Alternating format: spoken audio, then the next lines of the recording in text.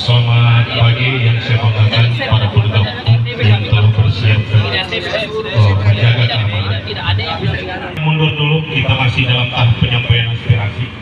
Tidak ada negosiasi dulu, nanti kita closing, kita negosiasi apakah DPR Kabupaten Pasangkayu bersama kita atau memang di belakang kita atau kan lawan kita. Ini belum kita bisa tentukan.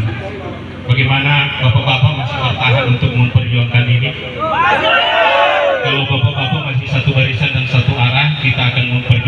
Kalau kita tidak buat.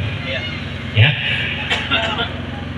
Saudara-saudara sekalian, yang kita sampaikan dan kami sampaikan pagi ini hadir bukan untuk menjual obat dan kami tidak datang berunjuk gigi bahwa kami datang membuang waktu untuk ke DPR bukan untuk bermain-main dan untuk bernegosiasi dengan orang-orang yang mementingkan kepentingan pribadi bukan untuk hadir untuk mementingkan negara ini tetapi kami hadir untuk rakyat sebagai dasar konstitusi dari negara ini negara ini ada karena rakyat yang ada di Kabupaten Pasangkayu ingat masyarakat harian bukan anak tiri dari negara ini bukan anak tiri dari Kabupaten Pasangkayu bukan anak tiri dari konstitusi yang ada di DPR ini kami adalah anak sah bukan anak haram dari pemerintah-pemerintah ini. Saya kurang lebih hampir 25 tahun mendampingi masyarakat dalam konflik agraria.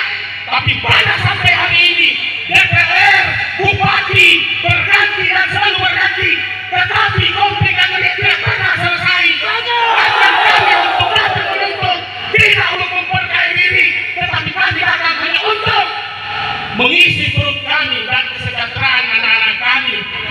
sehingga warisan dosa ini tidak kami wariskan kepada anak-anak kami kepada cucu-cucu kami ini yang harus kita camkan karena kapan kita datang berdemonstrasi terus-terusan dan tidak ada penyelesaian tidak ada kesimpulan yang diambil pemerintah maka saya berani mengatakan bubarkan pemerintah Pasangkayu karena tidak memberikan jaminan.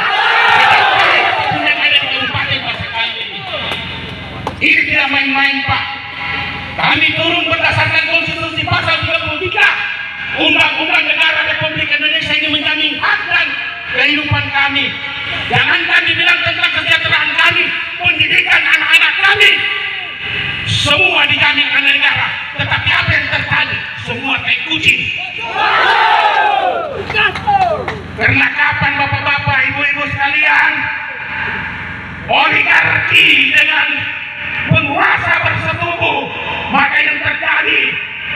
landasannya yang menjadi sakit adalah masyarakat.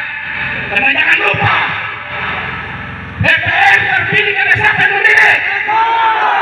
Rakyat pak. Bupati dipilih